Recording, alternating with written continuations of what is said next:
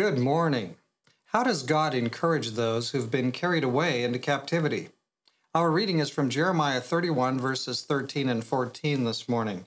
Then shall the virgin rejoice in the dance, and the young men and the old together. For I will turn their mourning to joy, will comfort them and make them rejoice rather than sorrow. I will satiate the soul of the priests with abundance, and my people shall be satisfied with my goodness, says the Lord. So, again, we're going through the book of Jeremiah verse by verse, and we're just taking every slice as we come through. And the people have been warned, they've been carried away now, they're being carried into captivity. But thankfully, through his prophet Jeremiah, God paints a picture of future celebration. So there are young women joyfully dancing, men, old, young, old men, and young men who had been mourning and sad. They're, they're rejoicing the priests having more than enough to meet their families' needs. It's all right here in these verses. This talk about this point ahead to the return back from captivity. I want to look with you especially today at God's promise in verse 14. He promises that he'll fill up the priests with abundance and his people will be satisfied with his goodness. Many of us have spent a good portion of our lives trying to fill up our lives with a lot of things that didn't satisfy.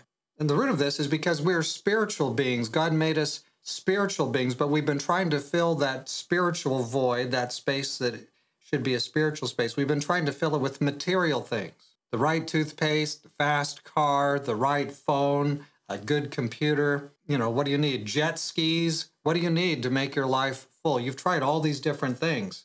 And while some of these things were indeed convenient and helpful, in the end, not one of them would satisfy us we have to go back to the time of Jeremiah. And, you know, although they didn't have some of the same kinds of things, they had the same motivation, the same purpose. They were trying to fill their life. And today, in this Laodicean period, the very end of Earth's history, what do you have? We have this kind of crass materialism. We're always trying to fill up our, our space with the, the best stuff, the right stuff. We've got to have the right label on our shirt and all that.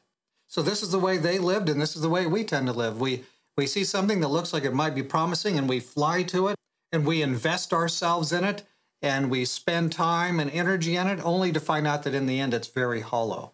And again, this is because we are designed by the designer, capital D, as moral beings, yet we try to fill our life with the material. We tried better foods, better computers, better wives, better cars. None of it satisfied. We looked for fulfillment in all the wrong places. God knows what we need. He has that which is deeper and better and more adapted to the human design because He designed us. He knows what we need. God has the moral, which is what we've been lacking.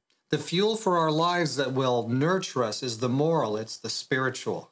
Some of us haven't even known what that is, but as we read the Bible, we'll begin to see more and more of what God's kingdom is like. And it's very different from every other thing that we've learned in our lives. And friend, especially as we read the Gospels, and consider the life of Jesus, we'll see that which will satisfy us. It's that which we want to aspire to, that which we want to be more like in our homes, in our family, in our workplaces, in our churches. He's promising them something much better. But they kind of had to come to this dark place in their experience, this tragic place with the practical destruction of their country, before they could turn around and get their heads on straight.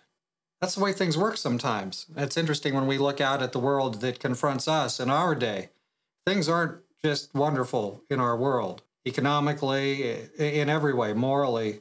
But whatever comes next, God will see us through if we trust ourselves to Him. Let's pray to Him. Dear Father in heaven, we are seeking to be your servants. Uh, we are looking for that which will satisfy. You promised through your prophet Jeremiah, you promised that you would satisfy. A time will come when you'll bring the people back from captivity. Lord, our generation today is very much in need of spiritual nourishment. We need that which will grow us spiritually. We look to you for this. Bless us, Lord. Help us to be in the Bible. Help us to see where the footsteps of Jesus go so that we can walk with him. And Lord, this is our prayer today in Jesus' name. Amen. God is a good God and He wants to satisfy us. He wants to give us what we need, and He wants to give you that today. So be in your book, then go out into the world today. See what God gives you today.